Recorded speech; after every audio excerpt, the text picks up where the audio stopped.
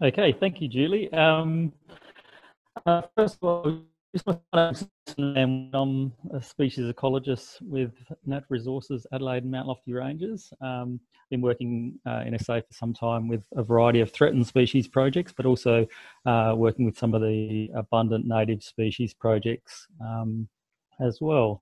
Uh, I've had the uh, fortunate opportunity to work with flying foxes since they arrived in South Australia, since we had the first uh, colony arrive. And um, it's great to be able to provide you with this update on, on how they're tracking and uh, what, uh, what's going on with them in South Australia. So just a bit of an update on the, the colony. Um, we, we have uh, had a colony of flying foxes here in the heart of Adelaide since uh, they've arrived in Adelaide in 2010, um, but we've got our uh, a main SA camp right in the heart of Adelaide in Botanic Park.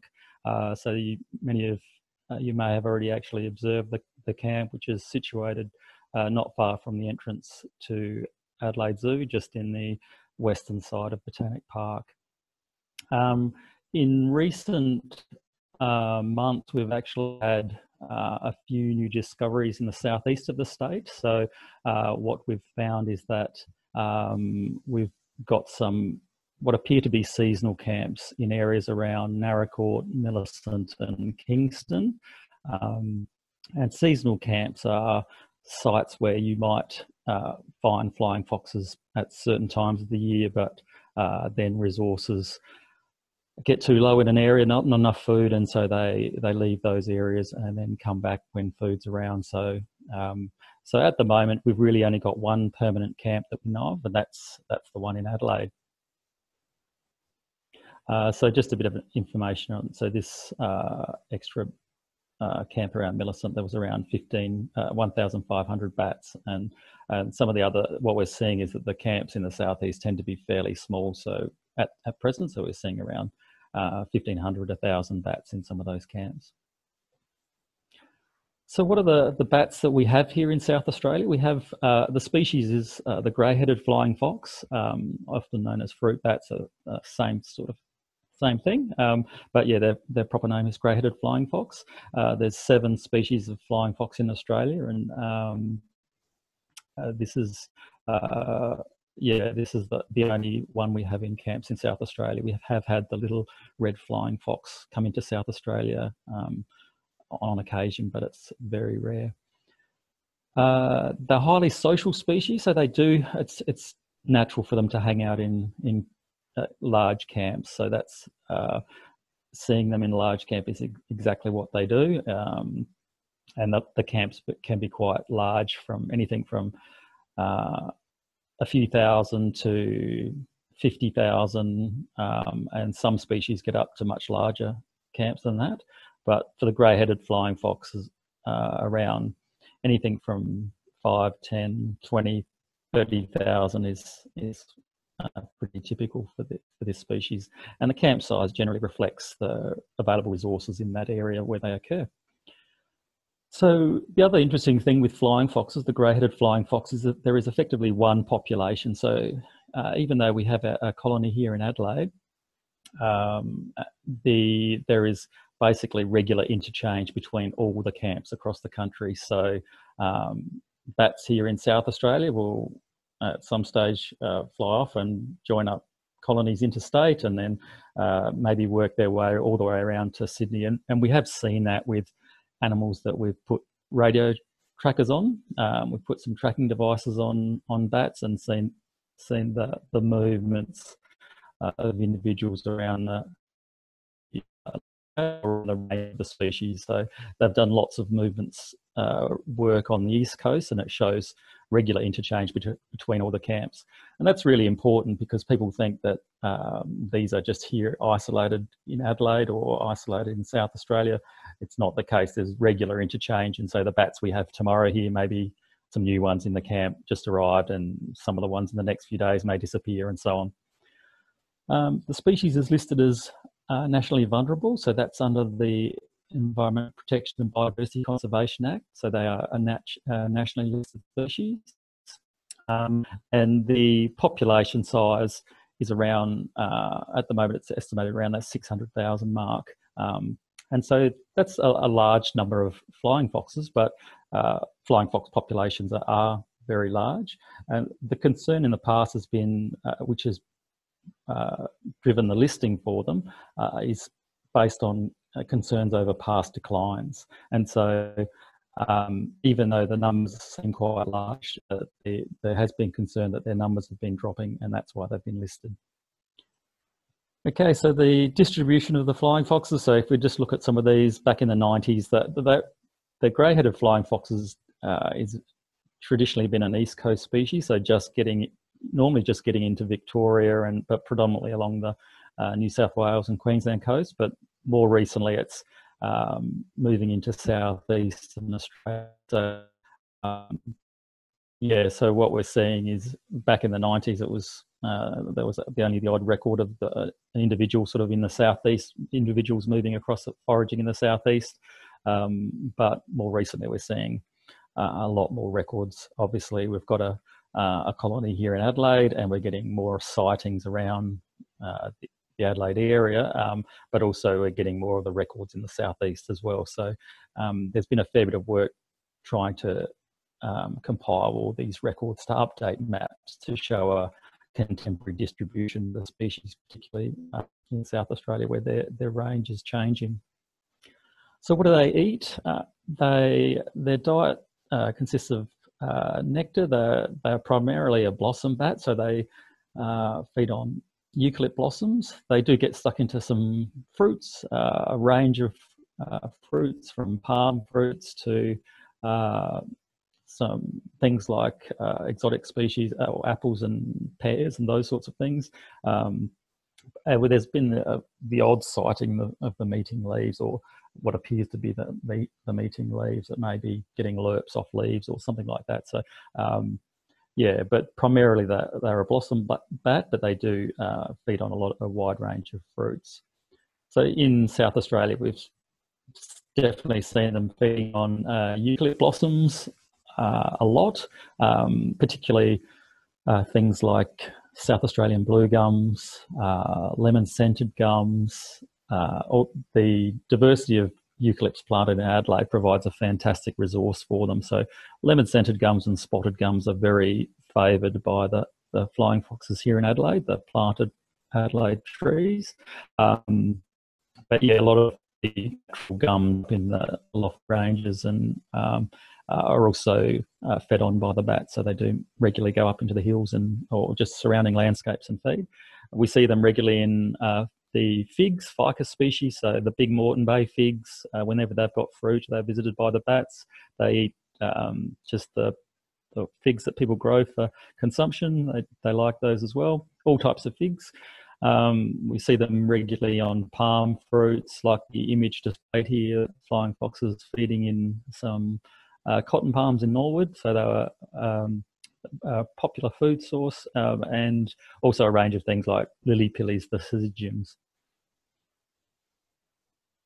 Uh, oh, sorry, I'll just I'll just go back uh, just to show this. The other image in, on the screen shows uh, how flying foxes drink. So they leave the camp generally at night, and um, they'll dip their belly in the water, uh, and then fly and land on a tree and, and suck that water off their um, their belly first. So that's how they drink. And and in South Australia, when we have really hot weather, they get thirsty during the day, and so they'll make that flight over and, and dip their belly, and it's possible to see them doing that in the day, but generally it's it's just done at night. Okay, so where do the flying foxes go? So uh, movements of flying foxes, they're, they're very mobile species, so they can they can forage up uh, easily within that 20 kilometre range, 20 kilometres a night, 50 kilometres a night is is certainly um, doable. So getting out that far, um, and so we've been able to, without necessarily, there's been a lot of trapping, uh, tracking work done on the eastern states. So we knew that having a camp here in South Australia in Adelaide, we, we already knew what sorts of uh, behaviours they'd be doing, where that the distance that they'd be going out foraging. So these sorts of maps sort of gave us an idea of where we could expect to see the bulk of the feeding of the bats. Um, so in that 20k, 50k range is where you'd expect most of the feeding. Um, we have done a bit of tracking work here in South Australia, and we've found that they they certainly do forage predominantly in that 50k 50k zone, but we have actually seen some bats foraging beyond that zone. So some individuals getting down south as far as Victor Harbor and Cape Jervis, um, and individuals getting uh, up further north than um, that 50k zone out out uh, in the northeast northeastern side of uh, the lofty ranges, um, and yeah, get, certainly getting up a fair way north, almost up to Port Wakefield. I think we've had one individual fly. So um, yeah, so shows that whilst bulk of the mu- movements are within that zone, you do get some individuals uh, which may be foraging further afield. And so that's really important to know that uh, the co- the camp in Adelaide that some of these bats are regularly going to be foraging up way out around Mount Barker and down south beyond Willunga and things like that. So uh, there is often an assumption that the bats in Adelaide will just be foraging really close, but they, they can forage out widely, and and they'll they they're definitely doing that already. So um, it's just an yeah uh, something to be aware of. Okay, in terms of breeding, um, the breeding, uh, the young are born around September, October. So at the moment, it's uh, this time of year, it's uh, mating time. So the, the, camp can be pretty raucous um, during the mating time. Uh, but yeah, young are born around September, October. Um, and then what happens is that those young are carried around by the females when they go out foraging. And the following months, they get too large to carry around, and so then the females uh, leave them in the, at the camp during the night, uh, creche them there with uh, all the other young bats, and and then they fly off and feed, and then come back and feed the, the youngsters in the following morning. Um, and then, yeah, in a few months, uh, the young start flying. So around that February March period, youngsters start fly, making short flights, um, and uh, uh, uh, gradually get their their wing strength up and and start having um, more significant movements across the landscape. In terms of breeding in South Australia, so ever since we've had bats in, uh, so we, we had a first arrival of bats in 2010, um, and in the 2011 period, we uh, had a small number persisting in South Australia, so around the 50 bats, and they that group um, did uh, breed here. So that was the first record of breeding in that 2000, uh, 2011 period. So we had a, a, small group, just a handful of youngsters, um, but they they've basically bred in South Australia ever since that um, 2010 2011 season. Um, they uh, what we've noticed is that around um, when we look at the number of bats in the camp, we could sort of uh, roughly say that it seems to be around a third of the colony are, uh, of breeding females. Um, it's very that's a very rough estimate, but um, the numbers we we see in that that camp seem to reflect that. Um, but it, uh, getting a good number of youngsters is quite difficult because for a long period of time they're wrapped up in the the wings of the females. Um, one of the other things we notice of flying foxes here in South Australia, it's a, a particularly uh, significant issue, is that uh, and the driest location of any camps in the species range, um, we do find that flying foxes here uh, succumb to heat stress. So uh, when temperatures get up over that 38 degrees, it's it's generally around the, the 42 degrees is the the uh, notable cutoff. Um, but we have had some individuals get in trouble around that 38 degrees plus. Um, but certainly when temperatures get up over 42, um, you can expect uh, heat stress to, to start uh, impacting on animals and, and animals succumbing to that. So they um, basically fall to the ground and or um, yeah, just overheat and, and, and die. So we've noticed that uh, in Adelaide, juveniles are particularly susceptible um, and particularly young, which are left on their own um, when they're being creche. They're too big to be carried around by the females, and they're not very good at uh, moving to the shade. So those animals tend to succumb to the heat um, uh, quite a lot. Um, I guess when you think of those sort of temperatures, above 42 is something which is a very typical thing in South Australia in the summer. So, um, not surprisingly, uh, just about every year that they've been here, they've had some um, issues with heat stress where we tend to have lost individuals. So, yeah, so heat stress deaths in SA, as I mentioned, we we have that those temperatures regularly over the 42 mark, and so not surprisingly, every year we we seem to have uh, an issue with heat-related mortalities, um, and so the yeah the it's something which as the the colony has um, grown in size over years over the time in Adelaide, um, it's becoming an increase an increasingly significant issue for, for uh, the camp here. So just an example of that. So in January uh, last year, we had the hottest temperature re recorded in Adelaide. So that was the 46.6 degrees. Um, we had around 6,000 bats in the Adelaide uh, camp um, of which around 3,000 of those um, bats died in that on that one day um, due to the heat.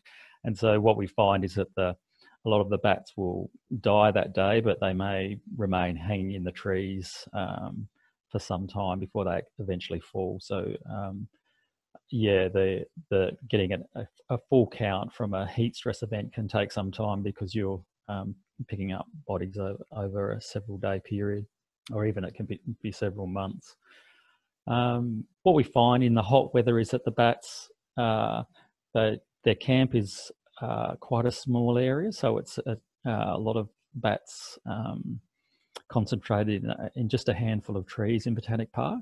Um, but during that hot weather, they do expand out over a, much larger area seeking shade. So some will make uh, move over to the the River Torrens precinct, um, anywhere from uh, King William Road area, Torrens, um, and then back through Botanic Botanic Gardens and more of Botanic Park uh, in search of shady trees and uh, um, shelter from the uh, the heat. So um, that footprint of the camp does change a lot in those those heat stress events. Um, one of the things we've been doing is trying to learn from these, trying to figure out how to mitigate uh, the impact. So what happens in heat stress events is a lot of bats come to the ground uh, from heat, heat exhaustion.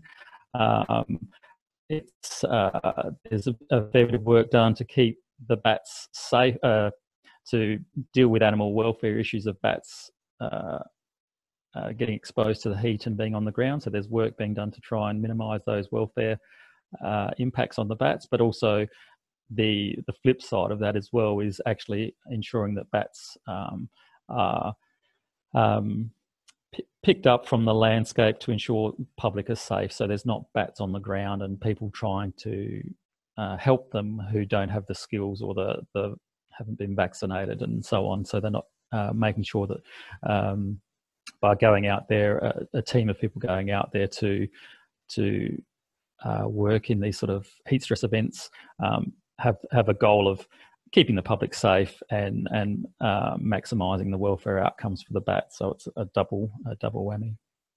Um, and with these heat stress events, we basically, uh, as the colonies got bigger and they're becoming quite significant events with thousands of bats um, being impacted, uh, we've been trying to um, look at how things, how those uh, emergency response operations are handled and review it and try and improve it. So that image just shows a flying fox there under a sprinkler system. So we have sprinklers going under the colony to try and uh, cool the animals down, and it does does play a big uh, role in cooling bats. They they do come down lower and um, they get to rehydrate and and um, yeah, helps them a lot of individuals survive those extreme heat events. And we're sort of, sort of looking at other options to try and minimise those impacts. Um, so yeah, we've got a draft emergency response plan for dealing with those events, but actually, until you go through an event like that, um, it it uh, you learn a lot through those processes. So we've been able to review our emergency response plans. Uh, we've got uh, there's a far better awareness around the the impact. So where bats are going, what happens during those those conditions. It's meant that we've been able to uh, all the stakeholders in that the area, uh, the Adelaide City Council or the zoo or um, Botanic Gardens, um, everyone's um, far more aware around uh, these events and how how to um, improve the outcomes from them. And so, yeah, we're basically finding that we get to improve our, our processes, and we're uh, we, we, again had to go through that same process late late last year. So just in the week before Christmas and in November, we had another two heat stress events which uh, impacted on the colony. So that uh, at the time the colony was around the twenty thousand mark, and so we we lost almost ten thousand bats in that uh, period. So just in the um, couple of months prior to Christmas, uh, we had uh, those heat stress events again impact, uh, and basically the bulk of the, the young in the, the colony were lost during those uh, couple of heat, heat wave events. So what's going on with flying foxes overall? So we've had that initial blip in uh, 2010 where we had around 1,200 flying foxes appear um, uh, in in May, June. Um, the the arrival of that group of flying foxes appeared to coincide with food shortages across the eastern part of their range. So, in uh, along the east coast, they were suffering some food shortages at the time. Um, bats, we had lots of bats move into the southeast of South Australia for the first time in terms of camps or colonies of bats, um, and some 1,200 bats made it up into Adelaide. Um, and then they they seemed that colonies seemed to disappear. Um, but shortly after, the bats returned, a small number returned, and then um, the camp here has grown uh, grown over the years. And so, what uh, what we found is that we're sort of expecting the the the heat in South Australia may prevent the colony from establishing here in South Australia. But what we found over the years was that despite all the youngsters being lost in a in a season, it wasn't um, impacting on the growth. So what we're finding is the colony continued to grow uh, with the influx of animals from interstate. So that interchange between South Australia and other uh, eastern states um, has basically meant that the numbers have just uh, uh, changed over time, and and we've seen large numbers shunt into South Australia, and we we can sort of expect that. Um, uh, large numbers to come and go from South Australia, depending on food resources. That's that's certainly become clear. And so, even in the uh, more recently, we're seeing a colony up the camp up around the, the twenty thousand. But then, as food resources uh, run out, then they large numbers leave South or leave Adelaide. Um, and this is very typical for standard camps around the country. So this big seasonal fluctuations is what tends to happen, and those fluctuations tend to follow food resource um, availability. So uh, we've only really getting up to that um, that larger colony size now. So uh, the colony's grown for, for quite a long time, but now that we're at that 20,000, we can expect to see these fluctuations occur based on food food resource availability. Um, and so at present, it looks like our Adelaide can support around the 20, 25,000 flying foxes. Um, and then potentially over this period, um, food seem to be um, in short supply for the species. It's only been a, um, a couple of seasons that we've gone through, but the, the numbers are dropping again in Adelaide around this time of year. So we're seeing this um, autumn drop off in numbers in South Australia um, and then peaks in uh, spring. So if we look at the heat stress event that happened early last year, um, we had the flying foxes already dropping in numbers in South Australia before the heat event um, occurred. So um, the bats were finding it tough even before we had that hot weather, and lots of bats were leaving this the Adelaide camp. Um, so when we had the the impact from that, the losses from that heat stress event took the numbers down a bit further, um, but they've just uh, responded by um, another influx from from interstate has brought the numbers back up again. So we anticipate that that will be a continuing um, characteristic of fluctuating population here in Adelaide.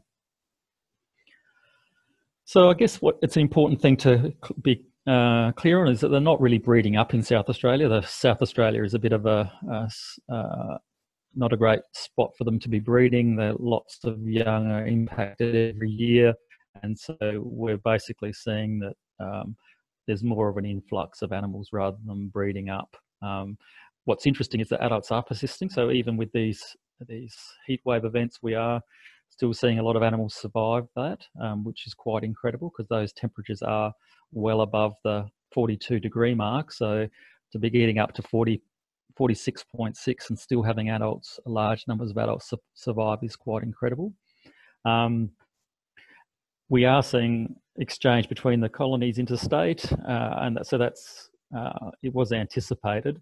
Uh, we've got some currently got some satellite trackers on flying foxes here in South Australia, and that's again shown that that um, of the small numbers we have with satellite tra trackers, um, but those many of those bats are moving into the southeast uh, and over into Victoria. So those satellite trackers are um, have been very useful because they've um, helped us detect those camps, uh, many of the camps in the southeast of the state, which we uh, weren't aware of in the past. So they were tucked away in the middle of middle of pine plantations, and um, yeah, we had hadn't detected them in those localities.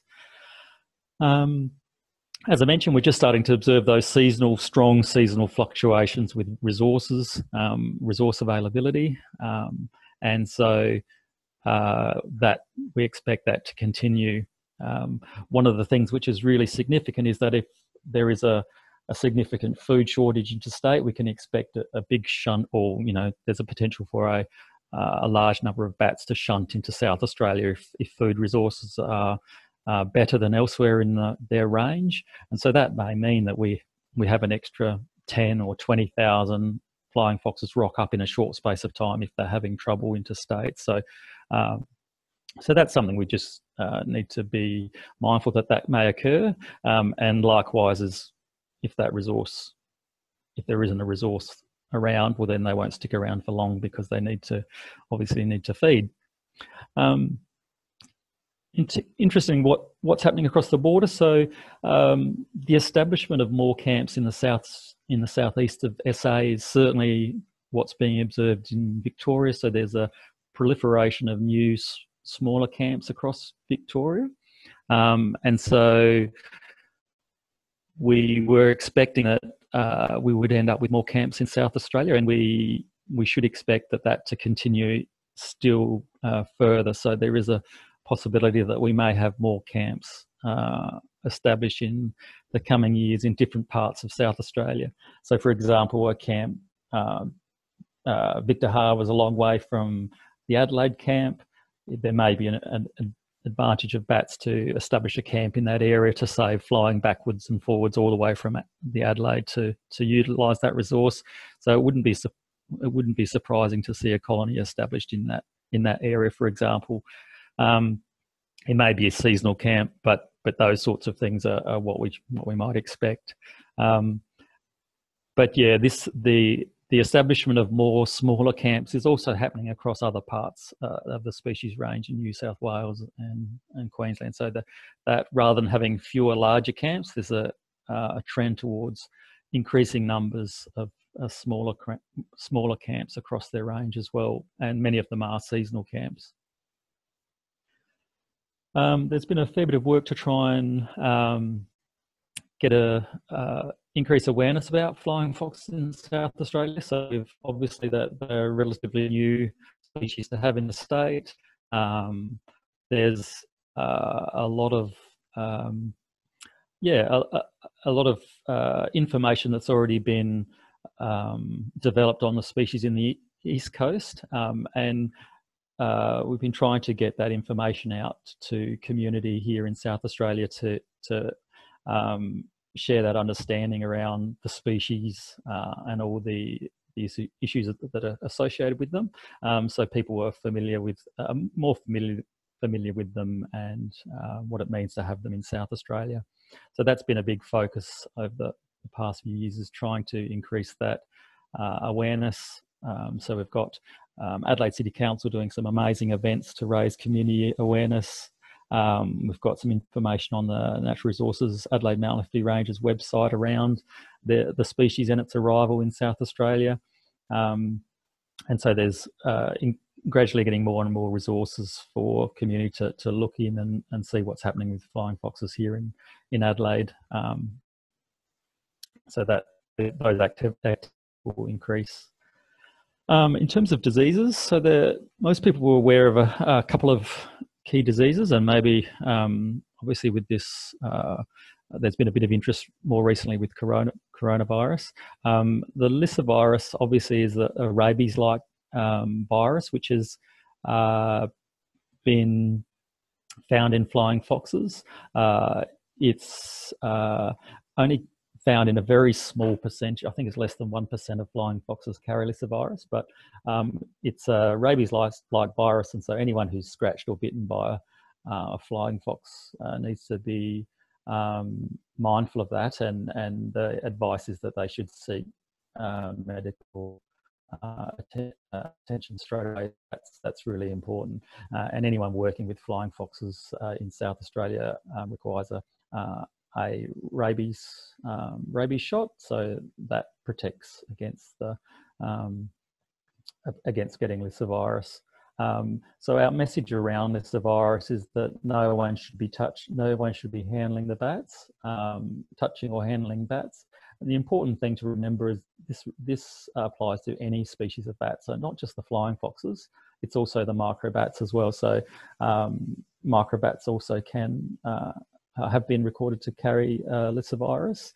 Again, small numbers, uh, small percentages, but um, to uh, prevent uh, the risk of getting uh, it's important to to remind people not to touch um, bats of any type and um, leave it to trained professionals. Um, so, fortunately, Fauna Rescue have been doing a lot of work going out and um, dealing with community concerns or community issues where bats come into a, a, horticultural net or a fruit net or entangled on a fence or those sorts of things. And, and they're trained they know how to handle and work with flying foxes. So uh, they're providing a val- valuable resource by getting out and, and dealing with those following up all those um, flying fox issues.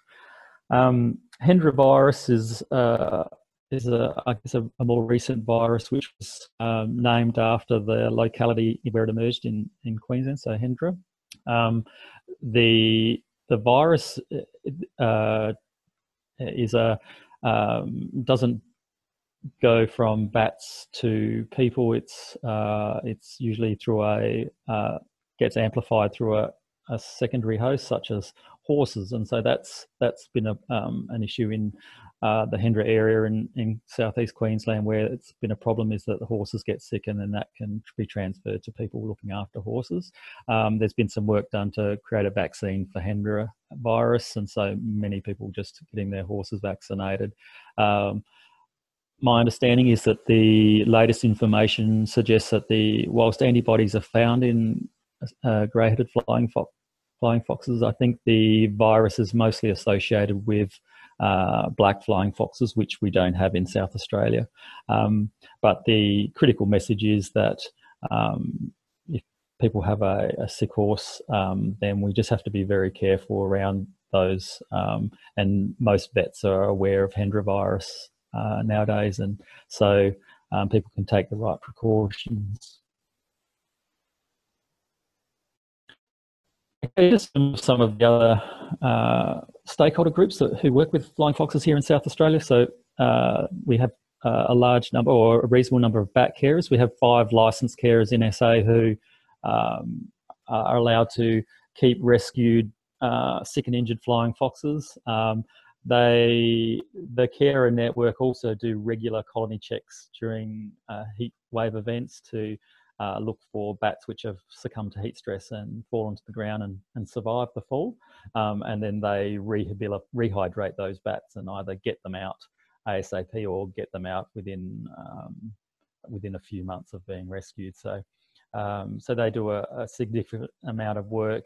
Uh, as I mentioned, they're out um, getting bats out of entangled uh, or which are found in backyards or youngsters which have fallen off adults and things like that. So they're out doing a lot of those rescues um, and they, uh, yeah, playing a very significant role in keeping the public safe and minimising the impacts on the, the, welfare impacts on flying foxes.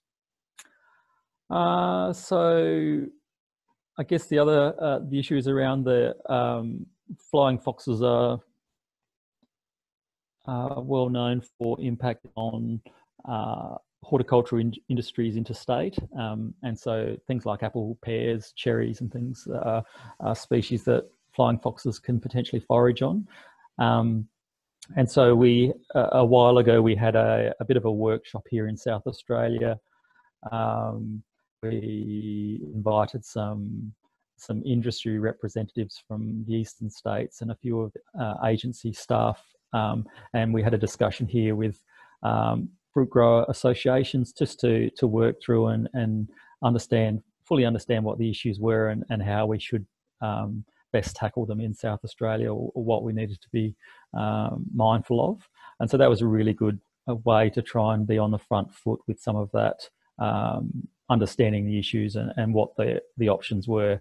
So we're certainly, um, as I mentioned, with a, a range of things with uh, education materials and, and so on. There's a lot of information being pulled together on flying foxes on the east coast. So so we've been able to to draw on that expertise and skill uh, and and just uh, invite people into South Australia and um, learn from what their experiences have been.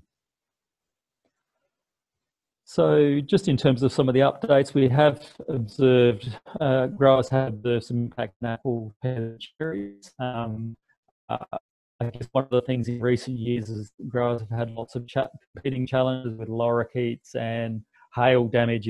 Um, would have aware of all those sorts of climatic events which um, have impacted heavily on growers. Um, and so the, the flying fox is just one of a, a variety of uh, uh, production challenges that, that growers have.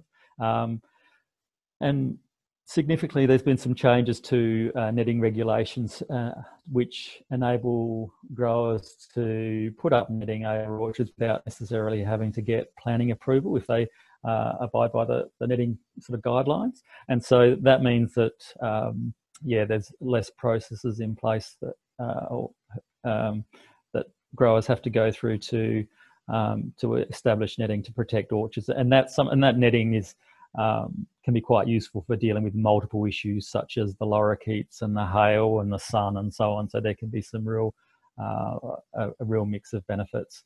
Um, but that's not to say it, it's, it's, a very expensive operation to net orchards. Uh, we have a range of research happening here in South Australia. So one of the things that is significant uh, or a bit unique about the colony here in Adelaide is that it's a, it's significant gap between Adelaide colony and other colonies around the country. And so what uh, what makes that interesting is when uh, researchers work with bats, like put trackers on bats or equipment which study the movements and behaviours. Um, Adelaide is quite uh, useful in that there's a good chance that the bats will stay here for at least uh, a bit of time. Uh, close proximity to other camps means that there's there's an even higher likelihood that the animals will just move between camps, and so you might not you might not have your um, that coming back to the location where you've got a lot of your research equipment. So um, it makes Adelaide a, a, great place to study bats.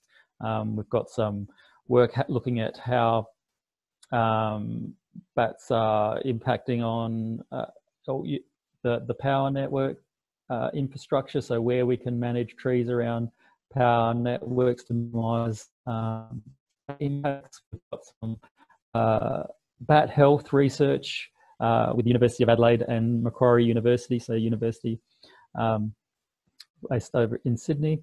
Uh, we also have uh, Western Sydney University who looking at heat stress and movement related uh, uh, flying fox movements in um, South Australia and in the Adelaide colony as well. So the image on the the top right there is just shows some some movements of a, a number of flying foxes that were uh, satellite trackers were put on. So that that just goes to show this is around a um, a 15 day period. I think about 15 days is the maximum number of days that the transmitters have stayed on. Um, and that just shows what individuals, so each color represents an individual. Many of the individuals are just flying backwards from the camp to a uh, are regularly returning to and from those sites. Um, but some animals will make uh, various different movements, uh, quite different movements each day, or trying to find new resources and so on. Uh, we've also had a student from the University of Georgia, so international student, looking at some of the ecology of uh, the bats here in South Australia, where they're going, what they're feeding on, and so on. So, so the activities in the room so, uh, participate in a national flying fox monitoring program. So, because of all the movement that happens around the country um, between camps, um, to understand the numbers, we have to look at counting them at a national level. And so, um, so those images on the right hand side of the screen there show uh, a whole range of camp localities, flying fox camp localities. And so those ones are the ones which uh, are targeted every quarter, uh, four times a year to see what numbers of bats are in the, those camps. Uh, each quarter to work out a, a, a national count. Um, and so with that national count, um, the aim is to try and figure out how the population is tracking um, across its entire range. Uh, we do a, a, bit of monitoring here with a population in South Australia, some additional monitoring. Uh, we try and gather some movement information and records to get update our databases. Um, for a while, we've been compiling community sighting information and mapping that foraging activity and range. Um, but now, now that we've got quite a lot of records coming in, we've uh, we've got a good handle on, on where they're foraging. Uh, we've got the radio tracking work showing us uh, their movement, so we're less uh, reliant on uh, community sighting information at the moment. Uh, and we're doing regular camp evaluation activities, looking at how the trees are being impacted, how the colonies impacted in heat stress, and so on. So there's a, a variety of things which are um, focused around uh, the the camp itself. And that's the presentation. Um, thank you everyone for listening, and I look forward to questions.